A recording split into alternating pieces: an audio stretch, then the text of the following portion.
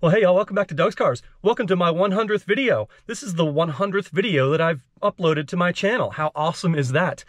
It was going to be about the Jeep Grand Wagoneer or Wooderson, but I just got a message that there's an Austin Healey 3000, a Mark III, a 1967, final year of production, that's available to look at. So, hey, I, I can't turn that down. I got to go see this Austin Healey. Uh, I mean, I've seen it in person, but I've not had a chance to review it. So let's take a look at the Austin Healey.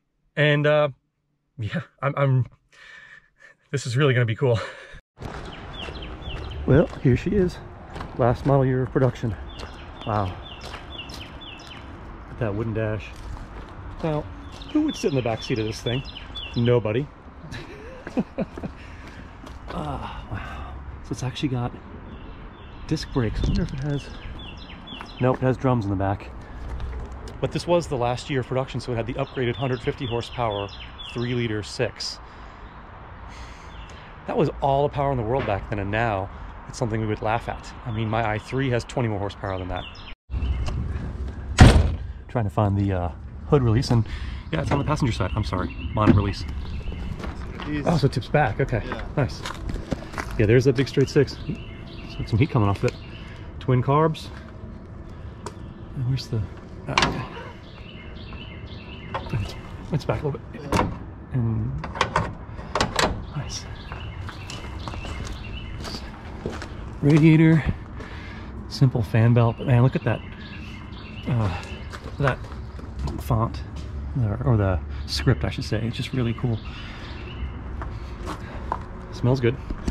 Smells like a car should. A little whiff of oil, a little heat. And this is what the trunk looks like. Got the rear mounted battery. And it does have a mat on the floor.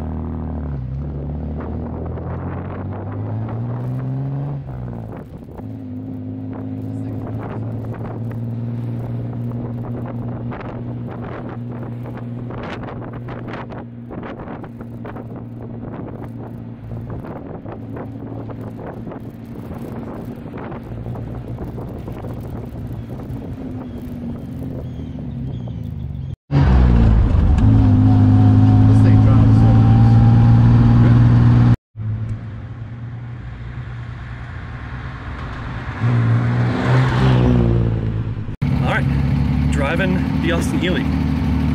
Pedals are very strange on this and very close together. First gear is straight ahead. You don't really need to give it too much gas to take off. This thing has so much torque for this size of an engine. It sounds so good.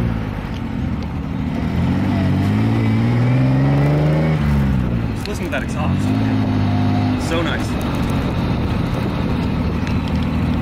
Wow. Definitely does not have modern brakes. I will give it that but it does stop. But the brake pedal is so close to the accelerator that it's hard to find, at least for me, my size 12 shoes. This does drive so well. I was talking with Troy here earlier and he said it ruins it for all of the other like so-called high performance convertibles of that era, the Italian ones and all that. It's just got so much power and you can kick the back end out so easily. I can't really do that in this neighborhood that easily. But uh, wow, what a fun car this is to drive. I highly recommend it if you get the chance. You could really get in trouble in this. Yeah. Wow, they're so close together. Yeah. Wow. They coming.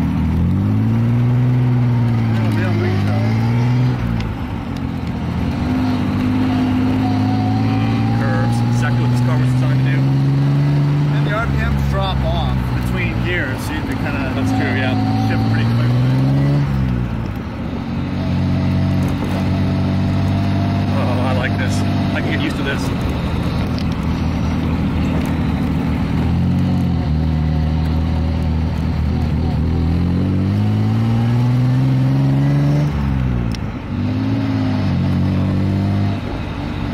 Glad I'm wearing my Save the Manuals, Drive Manuals t-shirt.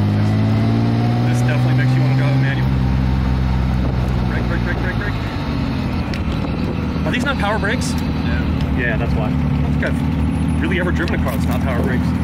Nice, actually. Yeah, I mean, it stops. And it's got front disc brakes, which is slightly unexpected, considering it's a 67. But it is a British car, so they were a little ahead on those things. Oh. It sounds so nice. So glad I got the opportunity to do this.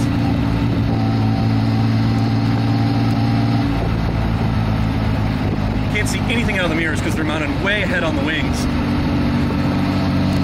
I guess you could adjust them, but not while you're driving, that's for sure.